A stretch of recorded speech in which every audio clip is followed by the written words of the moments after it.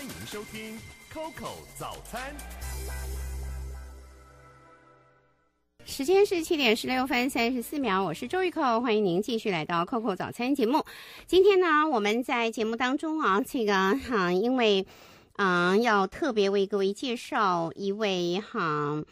阿嬷家和平跟女性人权馆的这个纸雕艺术，因此呢，哈、评论的时间呢，我们哈、暂时啊、这个停一次啊。那等一会儿呢，我们在哈、嗯八点到九点的节目里面要访问的是桃园市长郑文灿先生，谈一谈桃园的两千两百亿元的前瞻计划是怎么样这个嗯拿到的啊、当然，郑文灿最近对于哈、中国政策上面的所谓的啊哈、这个友中爱台又是一个什么样的看法？等一下呢，我们都来请教郑文灿市长啊，还有他们的新潮流系的哈、盟友赖清德哈、在美国的演讲，对于这个民进党的两岸政策是不是有什么样的冲击呢？同时呢，我们今天在节目当中要为各位介绍的是中华达人组的旅读中国创意游的艺人东明相。好哈，现在我们就来介绍哈这个林文珍先啊的纸雕艺术啊，这个嗯。啊，骂家和平跟女性人权馆的馆长哈康淑华小姐在哈线上，淑华你早。呃，Coco 好，各位听众大家好。好，非常谢谢您哦。这个因为这个展览这个嗯的时间呢的关系哦，所以我们特别啊、这个提哈、在今天这个啊、这个时段当中啊，为大家来介绍啊，这个嗯。呃，远东旧屋改造奖的公布啊，是一座这个慰安妇纪念馆呢。你们这个是第一个啊、这个奖项嘛啊、那在这个奖项当中呢，还有哈、这个纸雕艺术，你帮我们介绍一下啊、大道城的阿妈家，嗯，这个嗯，现在是在哪里？那希望我们的啊、听众朋友来到我们的西区的时候，可以到哈、阿妈家啊来嗯。缅怀或者说来为过去的一段历史啊、珍藏一些人性的记忆，应该是这个意思吧？嗯，是，我们就呃位在迪化街凉州街口迪化街一段两百五十六号。嗯那其实我们是在去年十二月的世界人权日开幕的，到现在大概半年左右的时间。那这半年来，非常感谢来自各界的一个关怀跟瞩目。到现在为止，我们已经有超过两万人次以上的呃朋友们来参观，那也不止台湾的。伙伴们还有来自外国的游客，那其实都是对于我们的一个支持。嗯，那这个馆主要是说，一方面记忆慰安妇阿嬷的历史，可另外一个部分，我们也希望透过这个馆，能够跟当代的女性人权议题能够接轨，嗯让这个地方也成为一个台湾难得的一个作为一个人权教育的基地。哦是好，这个迪化街跟凉州街口，我们坐对啊，嗯、坐捷运到龙山寺下车，嗯，方便吗？呃，龙山寺会有一点远，就可以坐到大桥头捷运哦，大桥头捷运站啊。是走过来不到十分钟就到了。哦，好好，所以呃嗯，这个大桥头的捷运站啊、这个走过来就到了嘛，对不对？好，是哎，那嗯，这个当然讲，嗯，这个嗯建筑是啊、有非常不一样的意涵，是不是是啊？对就啊，用这个象征芦苇的透明空管跟金属灯来代表这个啊两千多位哈、身份不明跟五十九位已经知道台湾慰安妇嘛。那在这个是哈、大大道城的阿妈家里面，嗯，你们最近有一个纸雕艺术展，对，我们从五月中开始到七月中，有一位呃台湾的一位剪纸艺术家林文珍。嗯那这次的这个整个纸雕艺术展，就是文珍特别想要纪念我们的阿嬷，因为她曾经跟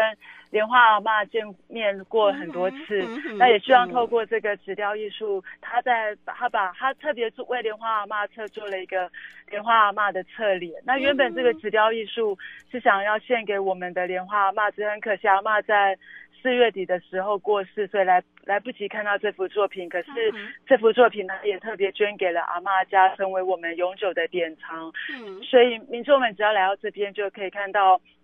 呃，文珍特别为这次的这个展览所创作的艺术。那另外是在展场，同时也展出了文珍过去的一些作品，包括迪化街的一些风景，以及他记忆中他跟自己阿嬷相处的一些经验。那欢迎民众，欢迎民众来到阿嬷家欣赏这次难得的一个艺术展，也可以参加我们的工作坊。那工作坊就在七月中。哦，是，哎，这个哈，我们看到这个阿嬷之家啊，在参访的时候是不必入馆费的吧？对，我们到呃年年底之前，我们都是免费入场。然后主要是也希望说，一方面我们也才刚开馆，邀请更多人认识我们的这个馆。那也透过免费的参观，让大家知道，其实慰安妇阿妈的议题，我们可以去用不用空间，那也用生命跟力量去阐述出我们对阿妈的一些纪念。好，我们呢现在所访问的是，嗯，阿嬷家和平与女性人权馆的馆长哦，是康淑华小姐啊。哎，淑华呢，嗯，其实我们在很多的地方都看到一个一个一个博物馆啊，一个故事馆，其实它代表的就是一段。一段过去，哈，它有血泪，也有心酸，但是主要目的还是从历史做见证嘛，哈。那好，所以我们的这个，嗯，在梁达凉州街跟迪化街口的这个，呃，阿嬷家和平与女性人权馆哦，基本上是，嗯，需要得到这个外界捐款支持的。对，呃，因为我们其实去年，呃，就非常感谢来自台湾社会各界的协力，那我们募到了一千两百万左右，那帮助我们能够把。去年的这整个硬体设施把它完成，可另外一部分是因为今年是营运的一年，当然对我们而言，我们希望能够自给自足，达到呃永续经营的一个目标。可是预估在前三年，其实都还需要有来自各界的捐捐款，帮助我们把整个软体的设施建立起来。所以我们目前也即将推出一个就是。呃，募集百位点灯人这样一个活动，透过每个月的一个捐款，嗯，那在阿妈家点一盏灯，照亮所有的，照亮更多的人，也照亮阿妈家。所以去这个参观有心有意的人是可以点亮那一盏灯，那一盏灯不会破坏这个啊阿妈家的这个嗯建筑的意涵跟美感吧？哎，不会，其实呃，这建筑师也特别的设计，我们就在刚刚那个 Coco 姐这边提到的芦苇之歌长廊。那一方面有呃搭配阿嬷的五十九个灯管，另外一个部分也将可以看到透过芦苇花的一个设计，捐款人的名字会在这芦苇花上面陪伴阿嬷，也陪伴更多的人。这一盏灯哈，大概啊，你们的这个嗯这个目标是。一盏一盏灯是。啊多少钱？我们希望每个月捐款三千块，然后愿意长期的支持，一年、两年或三年，对，成为我们整个阿妈家呃长久的一个认养人，也跟我们共同经营阿妈家。嗯，好，听众朋友，如果您有心的话，一个月哈是三千块钱嘛，对不对？是这个慰安妇的纪念馆阿妈家，这是嗯。这个旧屋改造啊，是一位非常年轻的建筑师的作品。当时你们跟这位吴生明先生，嗯，合作是透过什么样的因缘嘞？呃，其实我们在早期的时候，我们在迪化街，呃。迪化街的一个空间，我们曾经展展过阿嬷的一个摄影展，那刚好声明当时是这个艺术空间的一个负责人，嗯，所以我们就认识了。所以当我们进入到整个大道城的时候，我们也希望能够找到一个。在地对整个大道城老房子熟悉的人，所以就也跟声明联络上，那他也成为我们去年整个监管过程最好的一个伙伴。哦哈，是好，这个哈旧屋改造计划，这个还得到了这个啊远东建筑奖啊，这个是啊这个呃嗯非常非常的难得。嗯，那嗯这个月份你们其实还有一个嗯，就是就是听馆长。来带大家做这个，嗯，了解这个阿妈之家哦。那阿妈之家所记的，就是就是以慰安妇哈那些阿妈不幸的故事为主。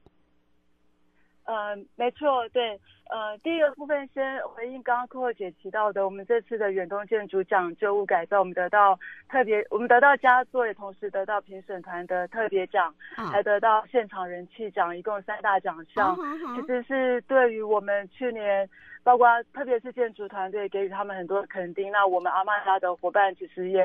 与有荣焉，共同见证这样的一个老房子改造所带出来的一个社会议题跟建筑。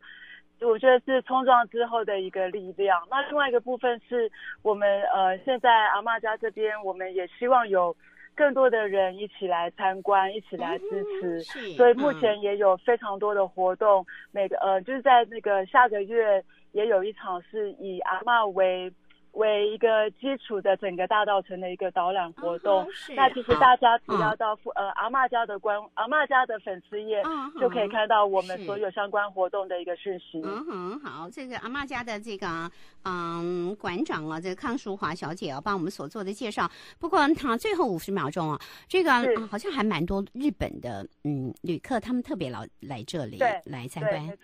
他们都是怎么样的反应啊？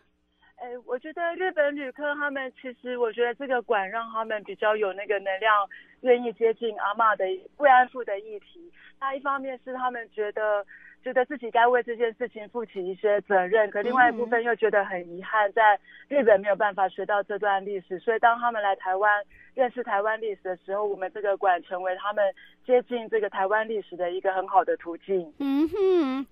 他们呢会呃会有很多嗯，当然嗯、就所以我们也希望台湾人哈，我们的这个嗯我们的同胞也都到这个迪化街来哈来看这个阿妈嗯馆敲个班谢谢你进广告喽